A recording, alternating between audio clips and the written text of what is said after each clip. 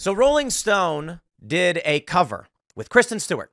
Of course, everybody knows Kristen Stewart from Twilight. So, following this, there was widespread criticism of the photo shoot because Kristen Stewart uh, used what, what, they describe as masculine coded props, like a jock strap and a leather vest or whatever. Following the criticism, Rolling Stone published this Right wingers are terrified of our gay Kristen Stewart cover. We'd honestly be surprised if they could name a movie she's done since Twilight. Um, it is hard to to think of any movies that she's done, to be completely honest. But uh, I did see American Ultra.